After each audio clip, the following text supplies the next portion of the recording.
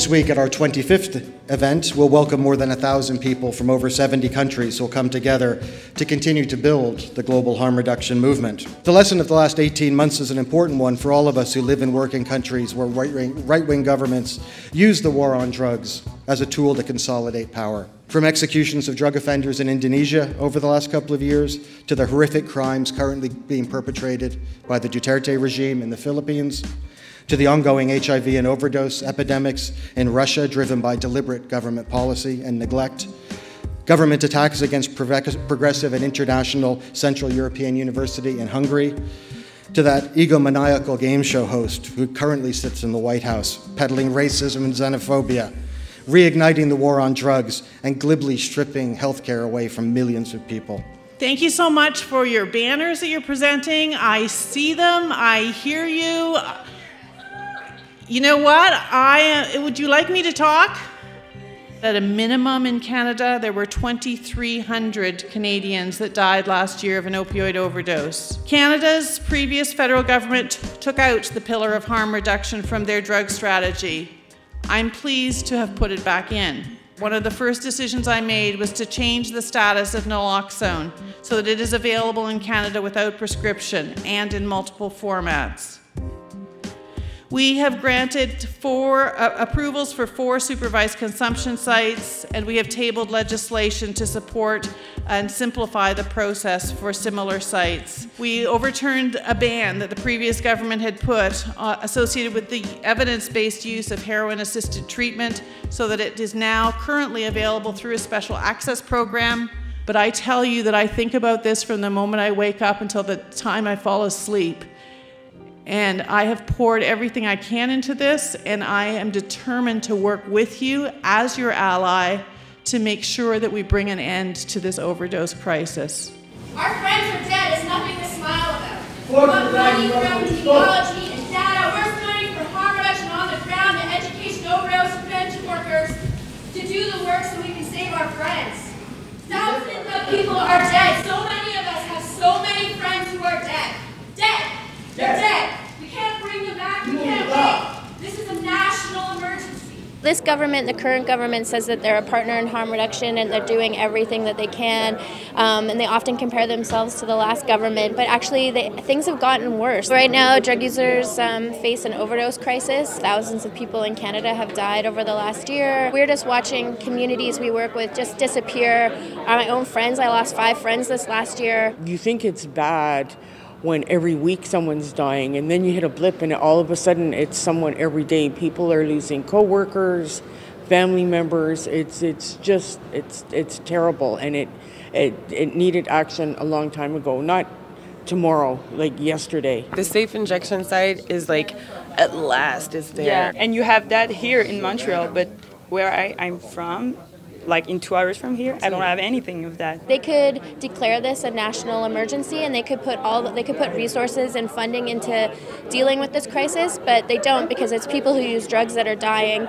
But if it was like you know uh, white middle class people in this country who didn't use drugs, they would be acting on this really fast, and we've seen that before in public health responses here. We're not seen seen as human. We're not seeing as being um, we're the last thing people think about. I can give you an example example of um, the Ebola epidemic and um, H1N1. Government put billions of dollars behind a few people that died, but nothing against what's happening with people that are living that are marginalized are marginalized people, right? What has been uh, voiced, uh, speak out during the plenary, I completely understand. Politicians are also human beings and they also have feelings. And if we want to move forward with them, we should respect also their feelings. So we should also be aware that we might lose her. And uh, if we lose the support of the current government, this will not help.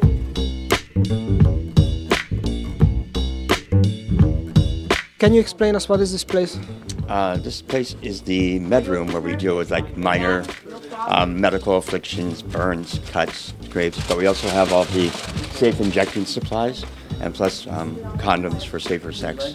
And in addition, this year we have fentanyl test strips so that people can test for their presence of fentanyl in their drugs. We also have intranasal naloxone and the intramuscular as well.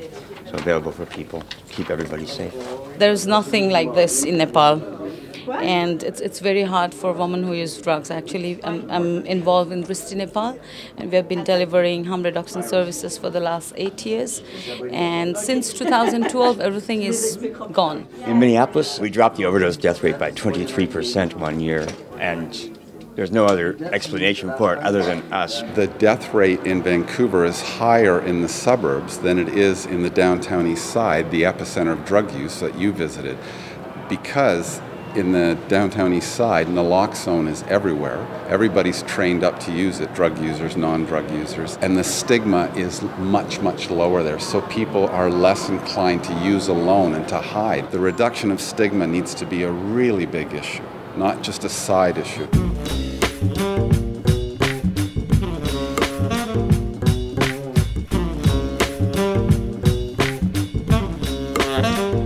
This is part of the Museum of uh, Drug Policy, and it's uh, this is called the Lost Generation. These are tags that are used to identify um, and provide information on the bodies of people who've passed away. And in this case, it's obviously indicating uh, fatality due to overdose. From the United States perspective, we're seeing it at epidemic proportions. Now you're more likely in the US to die from a drug overdose than from a motor vehicle accident. So, you know, what we have is like in, you know, an unprecedented level of supply an unprecedented acceptance and willingness to use, and also absolutely zero discourse around how you engage in substance use to maximize pleasure and to minimize risk and harm. What do you recommend for, for, for Americans from the perspective of Switzerland, where you also had similar problems uh, many, many years ago? At least there is something that is so evident is uh, heroin prescription, just to uh, give access to uh, this product for the people who needs it. Many people may say that there are already you know prescription drugs which are legal but still killing a lot of people. It's not only about legal illegal it's about uh, the market how it is framed. What we should have is you need something you you know what you want you get what you want and you know exactly what you get. And then people can adjust their risk adjust their their behavior harm reduction in france as you know is very very medicalized very target on substitution very target on medical power and this is frozen the human rights debate. A lot of racist people who point the drugs as the problem of the stranger, as the problem of minority, as the problem of Arab and black people. And war on drugs is always a, a, a tool to point those minorities, but medical system doesn't care about it.